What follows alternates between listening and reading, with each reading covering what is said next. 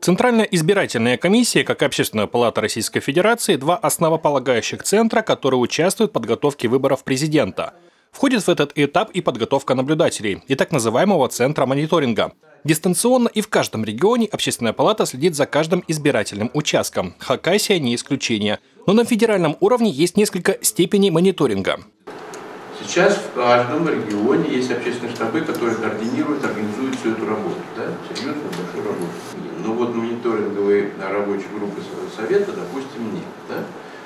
А, а, разные были мнения, что тоже включать. Я не сторонник того, чтобы нас было бы включать туда. И, кстати, позиция такая Центра избиркома тоже такая же. Говорит, и не надо. Мы вам даем возможность проводить мониторинг. Есть и критерии к наблюдателям. Прежде всего, так называемая возрастная пропорция. Прослеживается даже некая преемственность поколений. В 2023 году на выборах в единый день голосования большинство наблюдателей в республике составили женщины – 77,6%.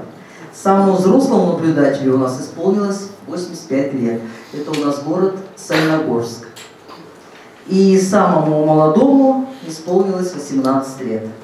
Всего из общего числа наблюдателей в прошлом году, э, в прошлом э, году у нас 18-летних было 7,2%, а молодых людей от 35 29,2%. Пример одной из действенных и накатанных региональных практик выборного процесса и мониторинга за ходом голосования представили наши ближайшие соседи Тува. Соответственно, 187 участковых избирательных комиссий. Специфика республики еще состоит в том, что у нас две проблемы, касающиеся, может быть, кого-то еще, но нас они особенно волнуют, и мы э, работаем здесь целенаправленно.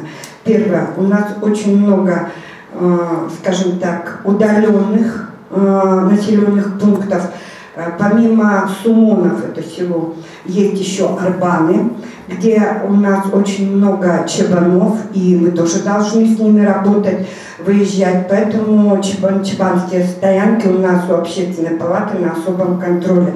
В Хакасии тоже не забудут про отдаленные территории и избирателей, проживающих в труднодоступной местности. Они проголосуют, напомним, досрочно. Именно в тех населенных пунктах, где нет соответствующего помещения и четкого транспортного сообщения.